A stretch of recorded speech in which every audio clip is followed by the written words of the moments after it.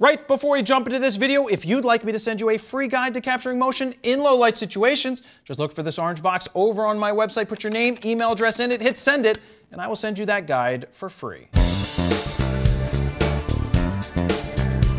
Jared Polin FroKnows Photo.com, and this is a comparison between the Canon R6, the Sony a7 IV, and the Nikon Z6 II. Now, I've used all of these cameras in the real world, so I have experience using them, sample images, know the ins and outs of these systems, especially after using most of the systems for years. What I mean by most of the systems, meaning I've used Canon for a long time, I've used Sony for a long time, I've used Nikon for a long time, so I have a great insight into basically all of their cameras to help you decide which one of these might be the best one for you if you're starting out today or looking to upgrade. Should you jump ship from Nikon to go to one of these? Should you jump ship from Canon to do something? And the something was more pointing here. So in this video, I'm helping you figure that out. So the way that this video works is I go through the specs for each of these cameras and I give check marks. And do those check marks mean anything, Steven? No. Not, not really, but they're just fun to give. So why don't we give you a check mark at home for being here and watching?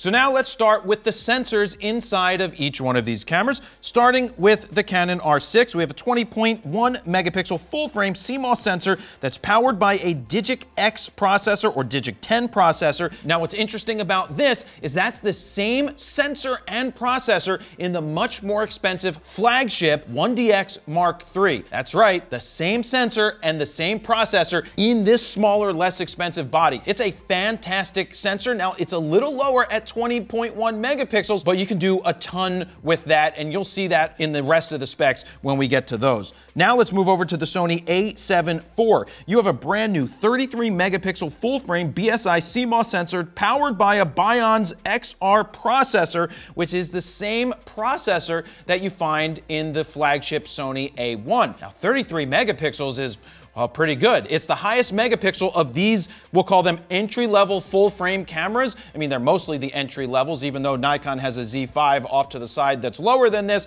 We're going to stick with these. It's basically the stepping stone into full frame as of today. Well, I might as well also say that Canon has the RP, but that's not nearly as good as this camera right here. Oh, and while I'm at it, uh, Sony has the A7C. I believe we did a video. Did we do a comparison about that, Steven? I have a ton of stuff to say about this camera. I don't I don't know either. We'll, we'll get back to you if we did a comparison of those. I think we have. But anyway, 33 megapixels is an unbelievable point to be at at this time. 33, it's like if you're shooting weddings, I could see having two of these for shooting weddings and maybe not needing anything more than that. This is a fantastic sensor to start, and 33 megapixels is a great place to be. Now moving on to the Z6 II, we have a 24.5 megapixel BSI CMOS sensor that's powered by dual EXPEED 6 processors. So the 24.5 megapixel sensor is a very good sensor as well. I mean, up here, my favorite quality, my favorite image quality of all of them is really the Nikon.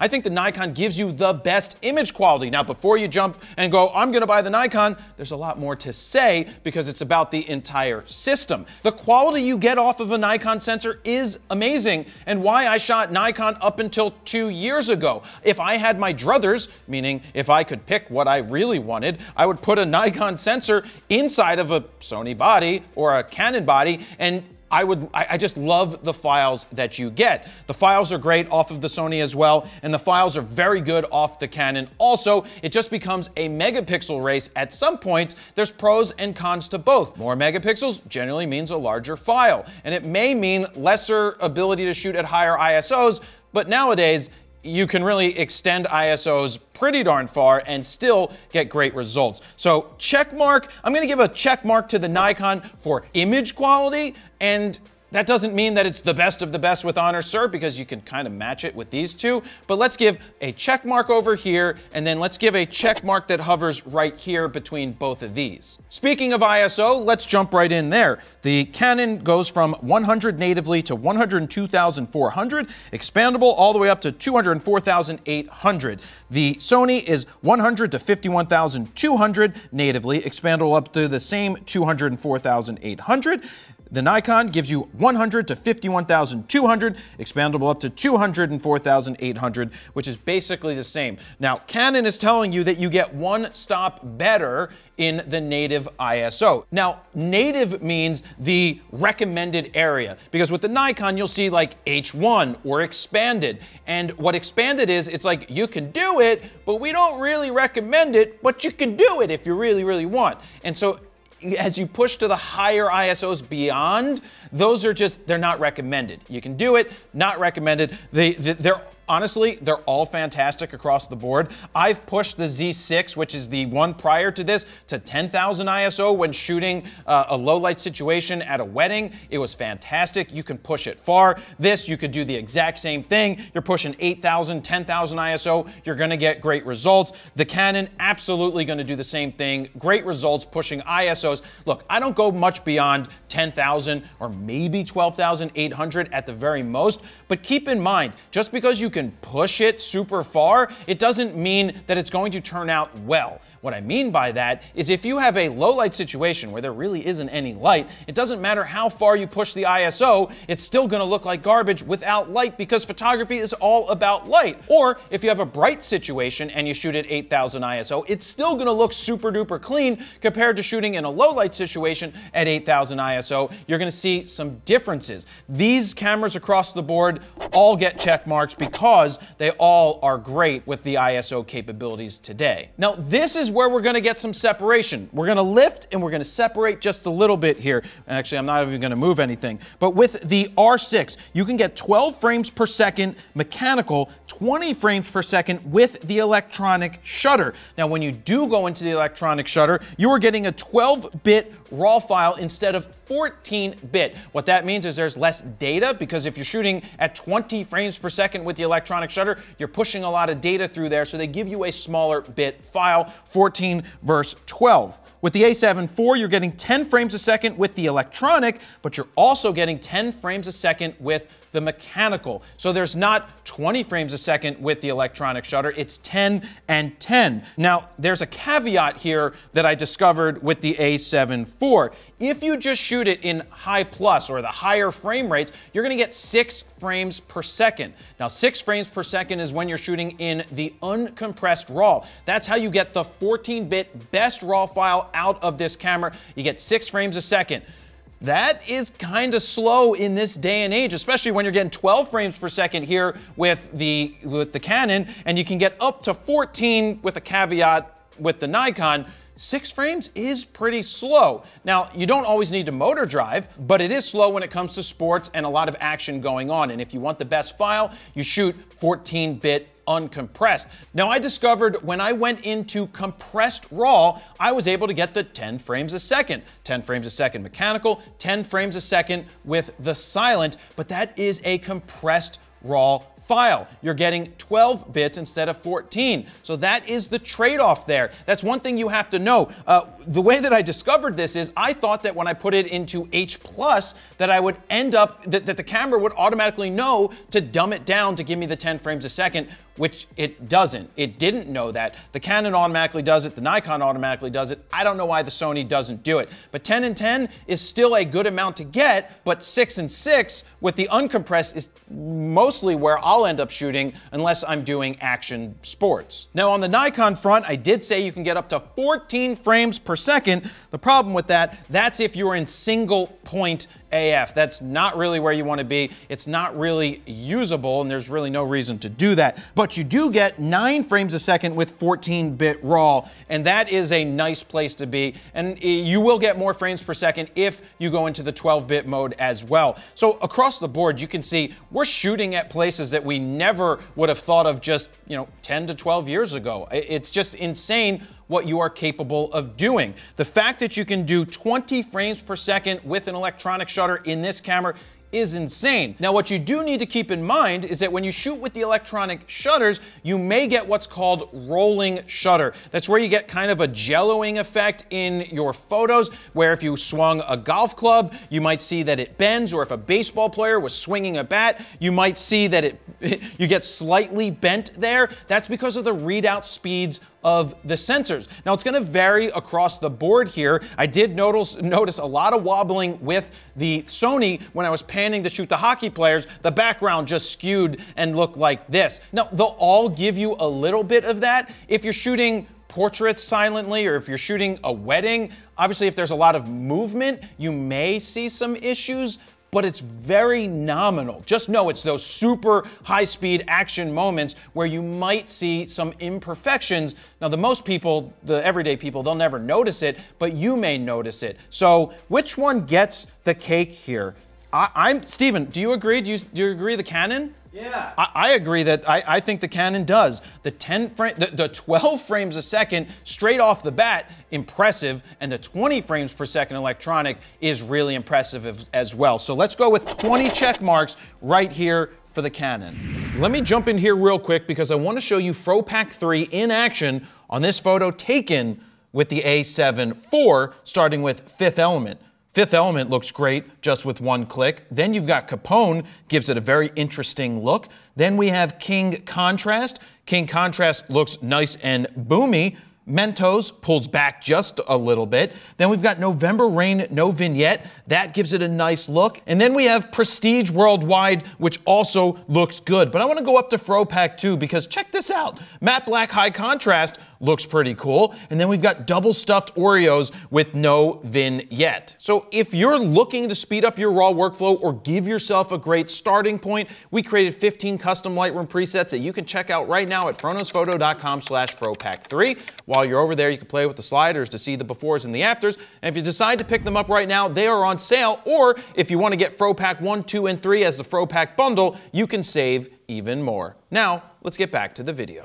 Now let's move on to the lens mount, starting with the Canon. You have an RF mount. The RF mount is fantastic. The lenses that Canon has put out so far for the RF lineup are great. Now they tend to be a little more expensive, like a 28 to 70 f2 clocks in at around $3,000, but you do have a 15 to 35 2.8, a 14 to 35 f4. You've got the 70 to 200, the 24 to 70 2.8, an 85 1.2, a 50 1.2, a 100 macro 2.8. You've got a lot of great options. You also have some lesser expensive options as well now, but you also have the ability to adapt EF lenses. There's like 50 million plus EF lenses that Canon has produced over the years.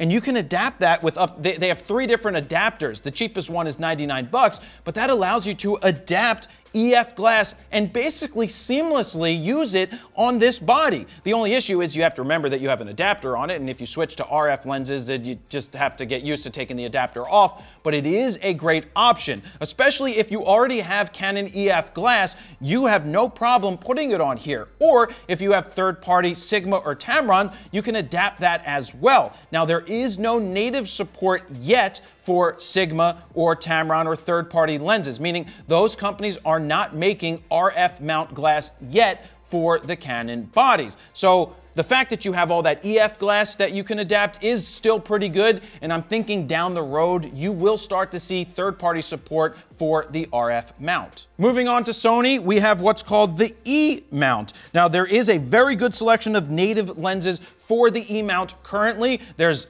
there's quite a bit. The, what is it, 65, Stephen, as of now? Yeah. Yeah, 65 E-mount lenses. Some are good, some are not very good, some are more expensive, some are less expensive. But what you do have is third-party support from Tamron and Sigma. They make native lenses for the E-mount, so you do not need an adapter. They're fantastic. There's a lot of great affordable Tamron glass, which brings the price down for entry. Whereas if you wanted to get a native RF lens here, you're gonna be spending a lot more money right off the bat for that glass versus buying a Tamron or a Sigma to get you started with this camera. So third-party support is already here, but you also don't have a lot of backlog of older E-mount lenses that you can purchase like what you had with EF. You've got years and years and many years of that on the EF side, and the E-mount hasn't been around as long just yet. Now finally, with the Nikon, you have what's called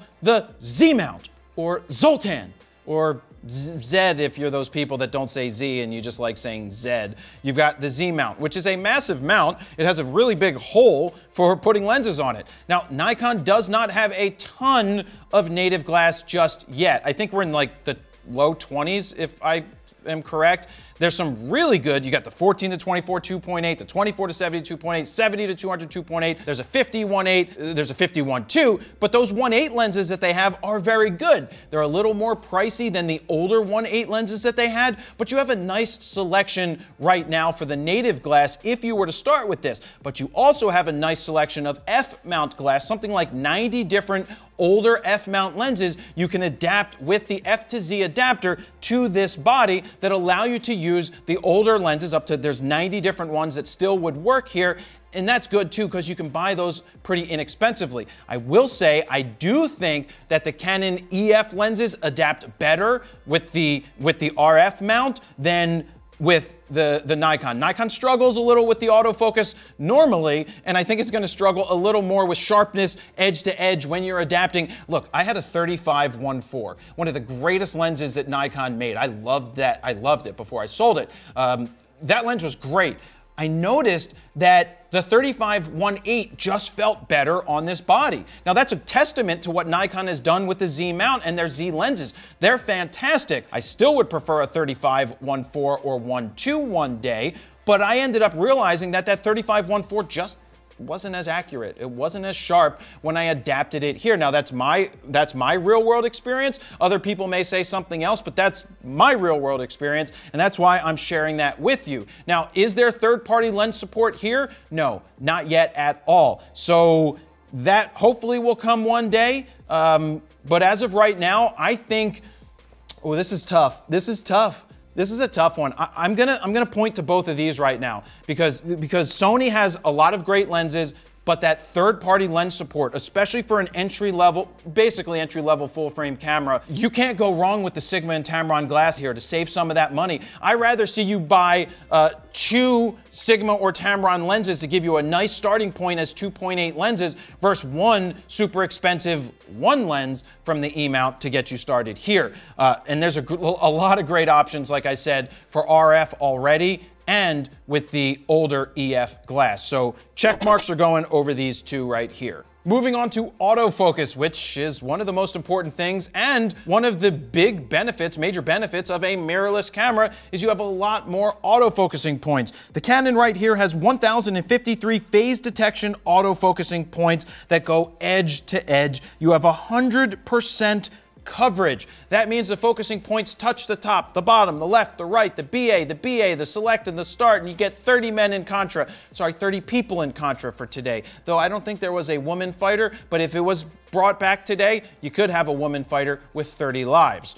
Now, Canon uses what's called dual pixel AF. That is an incredible system that they've created. It goes back to the 70D, which was a DSLR where you had dual pixel AF, which was unbelievable. Uh, it's only gotten better and better. And with that dual pixel AF, you also have face detect as well as eye tracking. So you can track a subject's eye or an animal's eye, and the camera just follows it and changes the autofocus for you seamlessly because it works really well with the RF glass. It just, the autofocusing system is bonkers. It's absolutely insane. When I shot football with this thing, it just, the subject should be moving left and right and side and, and up and back and doing whatever they need to do. They could roll, a person could come in front of them, and bam, you are nailing focus time and time again. I trust the focus so much in these systems that I feel like I can just rely on it. I feel like I'm getting images that I otherwise would have missed if I was trying to control the focusing points myself. So I let the camera do the dirty work now because that's why we have this technology.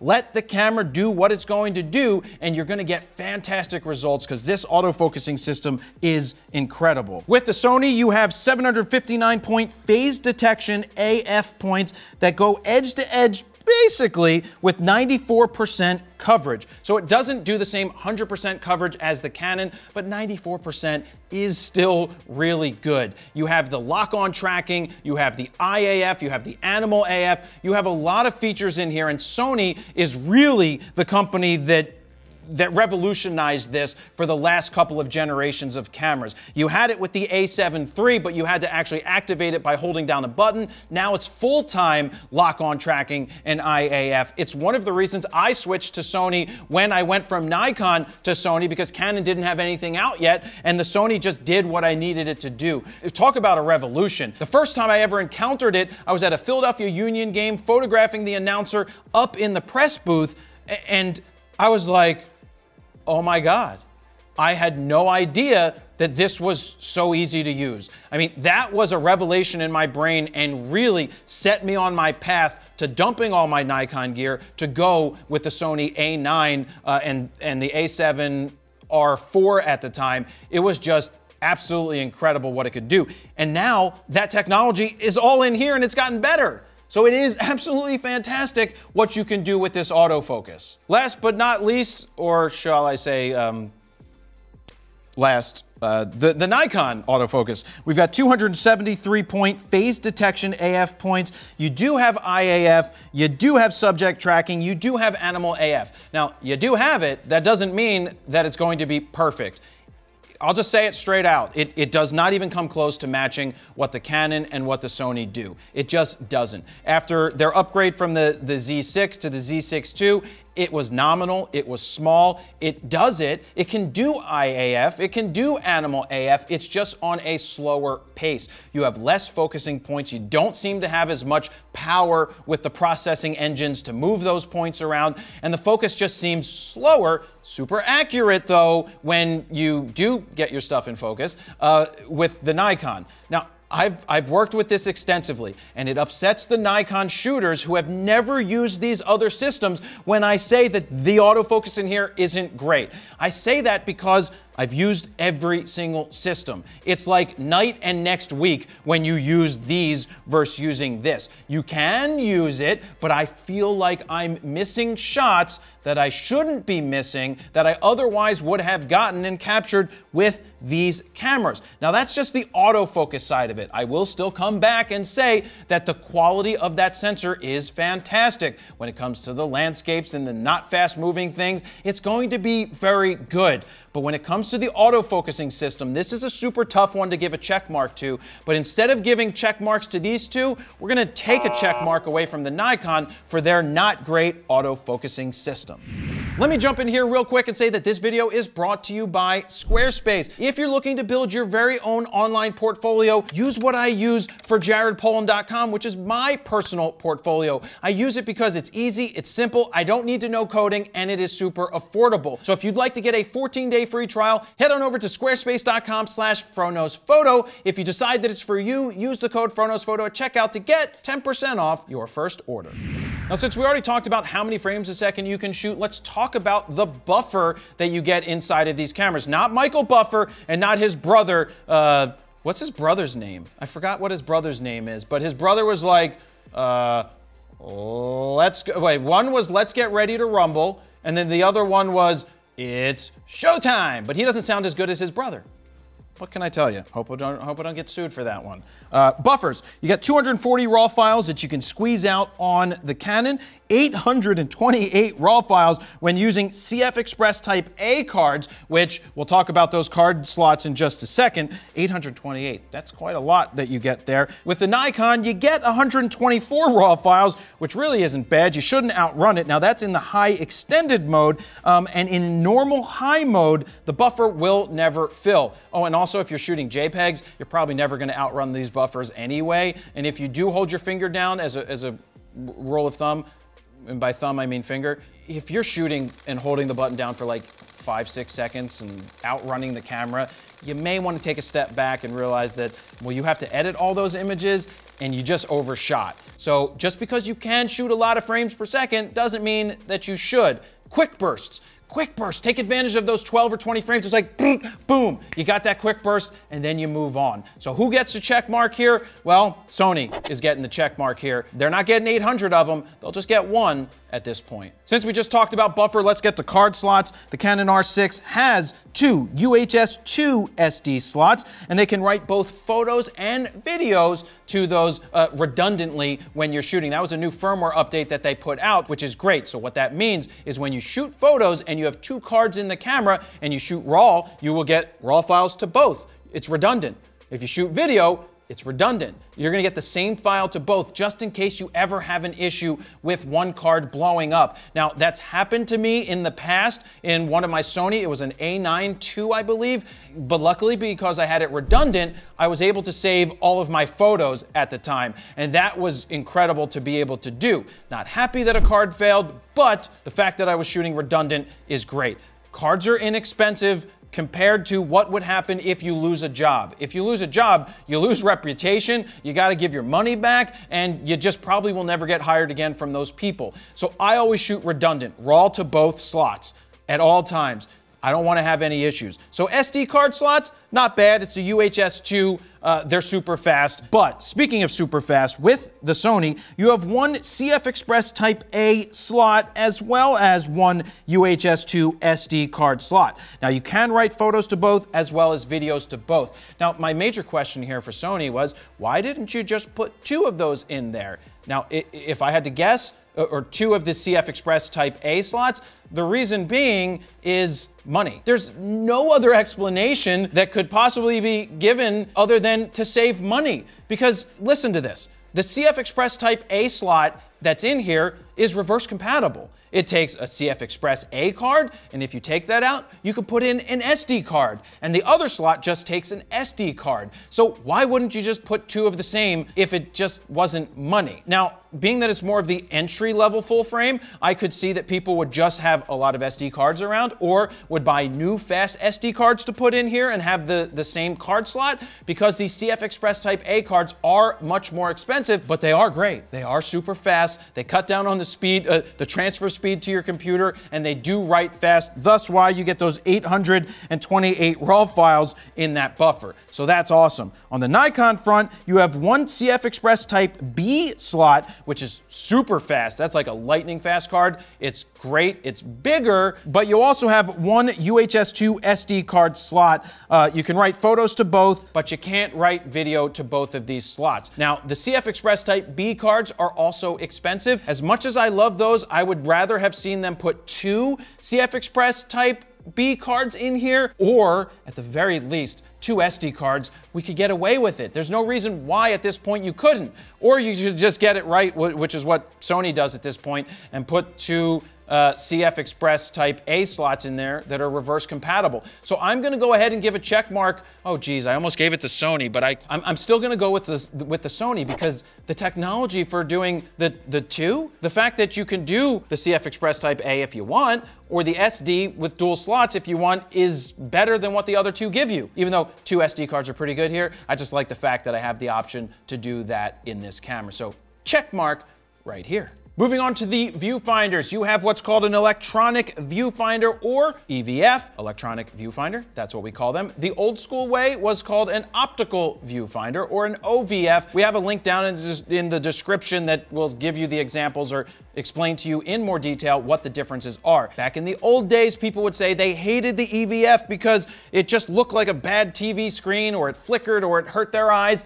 That doesn't exist anymore. These EVFs are absolutely perfect. Starting with the Canon, you have a 3.69 million dot EVF with 120 frames per second refresh rate. The Sony, you have a 3.68 million dot EVF with 120 frames per second refresh rate. And with the Nikon, you have a 3.69 million dot EVF with a 60 frames per second refresh rate. Now, you might see a slight difference when shooting sports with the slower refresh rate of 60 frames per second, but honestly, I haven't had an issue when using this shooting action or shooting sports. I didn't really notice much of a difference. These EVFs across the board are all good. I'm not going to sit here and give any of them a check mark, but you know what? You know who gets a check mark, Stephen? Who? Who? EVFs get a check mark. Flat out, EVFs are incredible. Now let's move on to the screens. The Canon has a 3-inch 1.62 million dot vari-angled touchscreen where you can touch everything. What I mean by touch everything is you can touch all of the menus and make changes and all of that. That's a good thing because some of the cameras, um, like the older versions of the Sony, wouldn't allow you to touch the menu. They were like, Every time you touch the menu, you know what happened, Steven? What? It went, bin in it, bin in it, can't touch it, dude. That's right. That's what it did.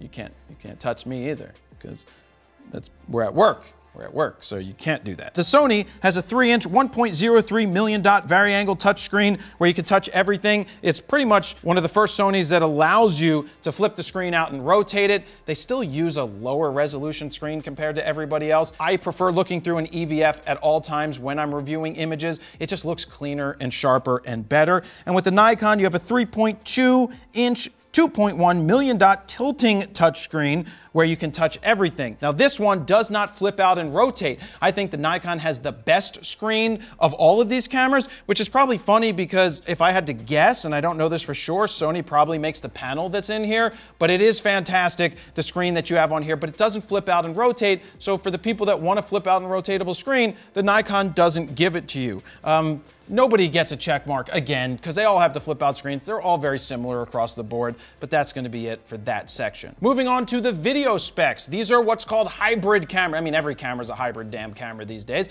meaning it shoots photos, it shoots video, it can do everything. It's a master of many things and they do them well. So let's get to the specs of the Canon R6. You have full frame 4K UHD video recording at up to 60 frames per second at 10-bit 422. The 4K is oversampled from 5.1K with no pixel binning. You can get full frame 120 frames per second at 1080p. You have a 2959 record limit. Uh, it is possible to overheat it if you shoot too long or in, if you're in a super hot area. You do have C-Log 1 and 3 if you want to get more control over your image. You do have a micro HDMI port on the side. We prefer when you have a full-size HDMI port on the side. Now we are using the Canon R5 to shoot this video with both of these cameras right now. And when we need extra cameras in the studio, we do break out the R6 because it, it is fully capable. The downsampling is incredible. You get a very nice file out of this camera. It is a well-rounded camera and you can get some great results with video. You do get that limit of 2959, which a lot of cameras have started to remove, but really 30 minutes straight shooting is pretty darn good. Moving on to the Sony, you can shoot full frame 4K UHD at 30 frames per second, 10-bit 422. The 4K is oversampled from 7K with no pixel binning. You have Super 35 4K up to 60 frames per second. Full frame, you can get 120 frames per second at 1080p. You have unlimited record time, so not 29.59. There is no overheating. It's going to be hard to overheat this bad boy unless you throw it in the oven. You've got S-Log 3 and S-Cinetone. You do have that full HDMI port that we do love. They have a new mode called Focus Breathing Compensation. You have a digital hot shoe on top, and you have plug and play streaming, which is pretty good if you are a cam girl or cam guy or cam other. This is a great camera when it comes to shooting video. You get some great results here. Sony has done a great job with not dumbing down the quality of footage that you get in their lesser priced bodies. So good job from Sony on making this body. Lots of great features inside of it for video. Now let's get to Nikon. You have full frame 4K UHD video recording at 30 frames per second, 8-bit 420. You can do 4K oversampled from 6K without pixel binning.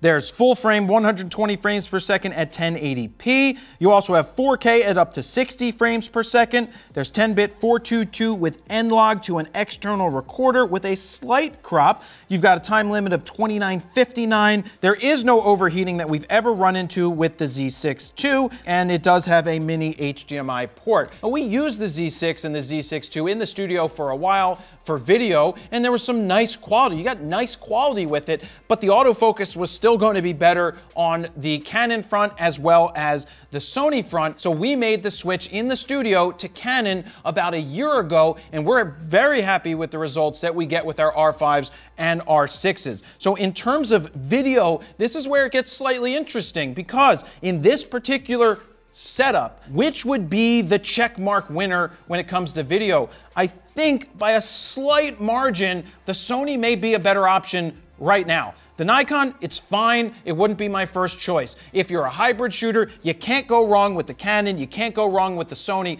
but the Sony gets a slight edge in the video front on this one, so let's give a check mark to Sony. Unless you want full frame 4K 60, if that's what you're looking for, then the Canon gives you that. The Sony does that with a slight little crop. With the Nikon, just like the Sony, you can get 4K 60p in Super 35. Let me jump in here and say if you're looking to purchase any of these cameras new or you're looking to buy some used gear or honestly any camera gear for that matter, just look for the link down below to Allen's camera. That's my affiliate link that helps me to continue make these videos, but it also helps you to support a mom and pop store that's been around for a while and competes against all of the major camera stores.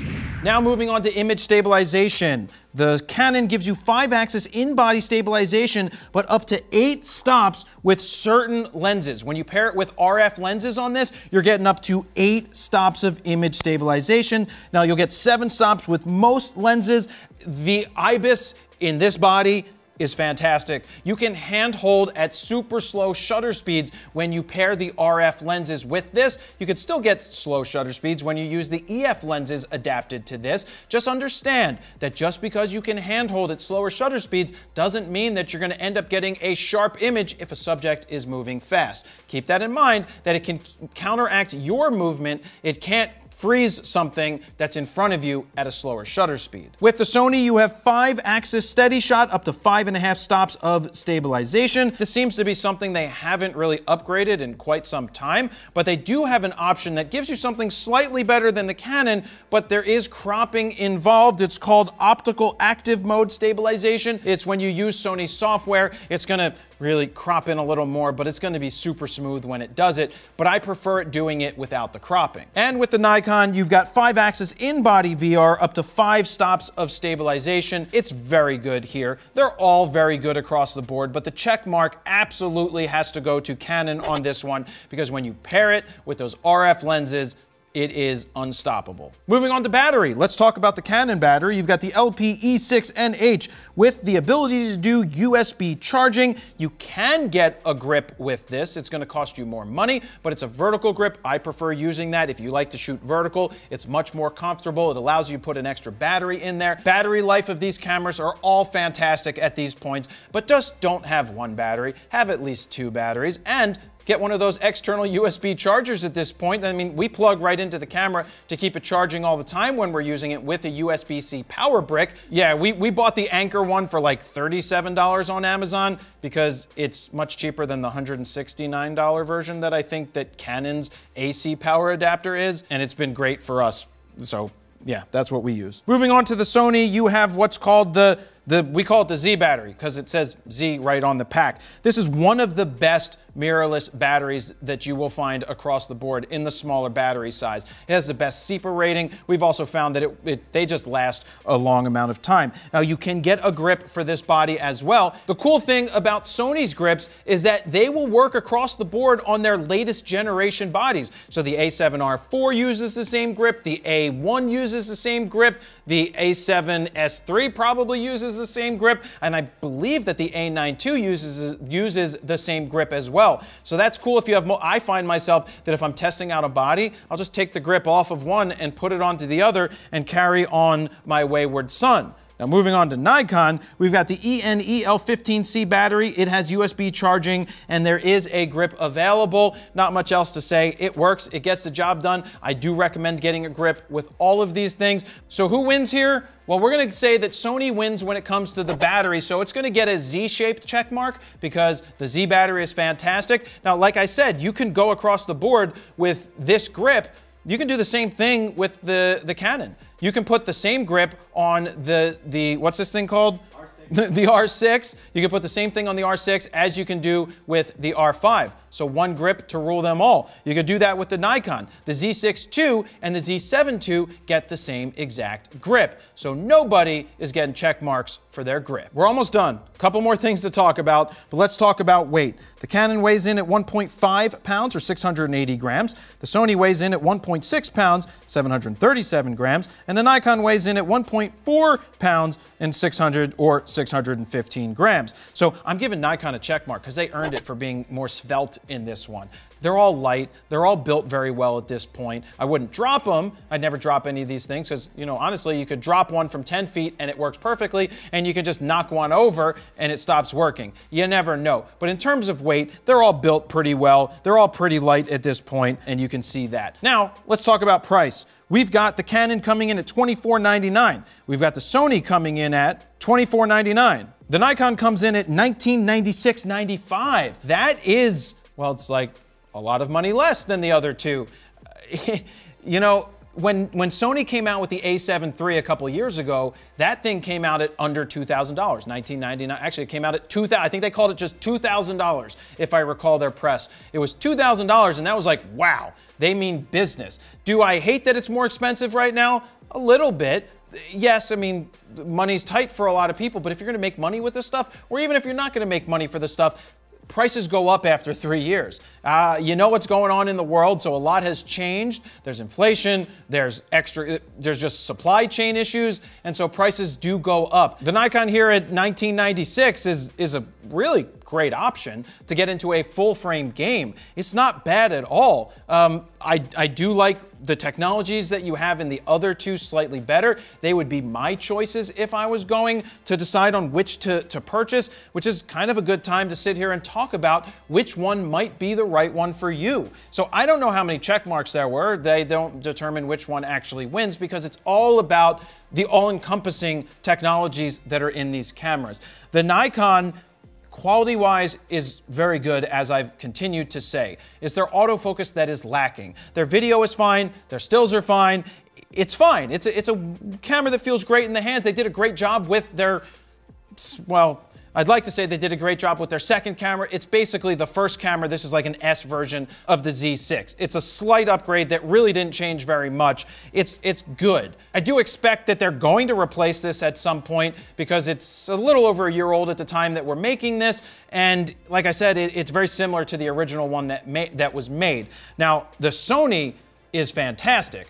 This is a great hybrid all-around camera. If you're looking to get into wedding photography and you want to save some money and get third-party lenses that are all native without having to use an adapter, you can't go wrong with this. If you need a backup to your A9 or your A7R4 or any of your Sony cameras, even the A1, you can't go wrong with a body like this. You just might be shooting slightly slower if you want to shoot uncompressed, but this would be a fantastic all around photography camera and video. You could shoot wedding videos, you shoot wedding photos, you could shoot sports, you shoot portraits. You can do that with all of these this is a great body. Now the R6 is a great body from Canon. You've got that 1DX Mark III sensor and processor, which allows you to push out those 12 frames a second with mechanical and 20 frames per second in silent. It is a beast of a camera. You could do sports and portraits and weddings and videos and everything that you could do with the Sony, you can do with this as well. Great autofocus, very good video, Great photos, just less megapixels. If megapixels matter to you, obviously you're gonna go with more megapixels. I don't think more megapixels really matter that much at this point unless you're going to be cropping. I think that this decision comes down to these two cameras. The Nikon is probably not where I'm starting unless you already have Nikon gear and you really wanna stay in the Nikon ecosystem and you do a lot more landscapes. You can shoot weddings with it. I know people that shoot weddings with it. You can get great results with anything. Just feel for me personally, if I was choosing, I would not start with this. If you're in the Canon world, you already have a lot of EF glass or Tamron glass and, and, and Sigma glass, you're gonna stick with this system. You're not jumping ship because it's fantastic. Uh, so I really like the offerings that you have here. It's between these two. If you're starting out today, you have to make that decision. Do I want to be a Canon shooter because I like their ecosystem and I like what they have here? Or do I want to be a Sony shooter? You have to decide up front which way you want to go. So I'm going to leave that one to you to decide. So what I would like to see you do, guys, is if you got this far, tell me, I got this far in the comments. Hashtag I got this far. Then let me know which system you would go with if you were starting out today. So thank you very much for watching. Jared. See ya.